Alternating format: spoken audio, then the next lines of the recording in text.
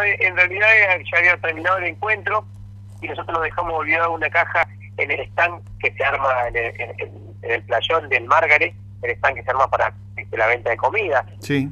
En el playón, entonces nos dejamos olvidado una caja ahí y cuando volvimos al día siguiente estaba en la caja con varios artefactos, calentadores, toda la parte de lo que es la, coordinación, programaciones, pero no estaba la computadora, el notebook, que es la que nosotros tenemos todo el material. lo, más, complicado es el material de, los 20 años del festival, ¿viste?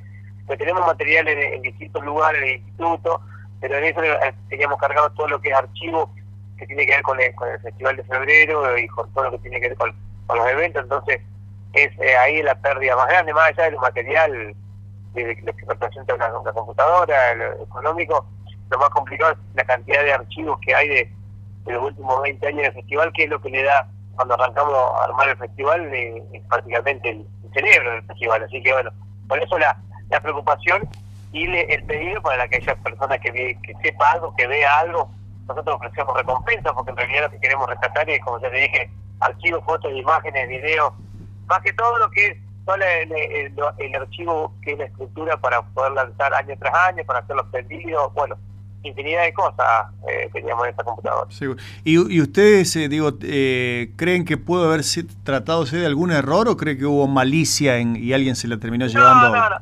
Sí, se, ve que alguien entró a revisar, dice que el playón del Margaret está abierto. Sí, sí, sí, por el portón del costado, está abierto.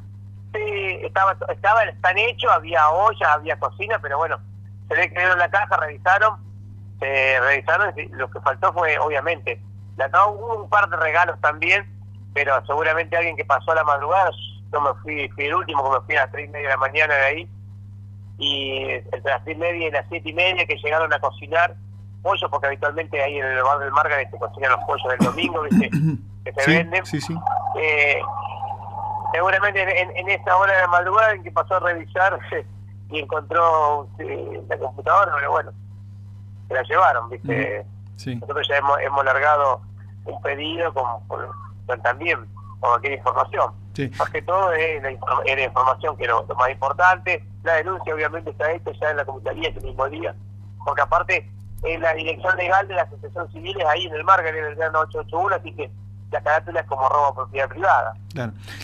Darío, ¿qué características tiene la computadora? ¿Qué marca es? hace ACB, AC 150.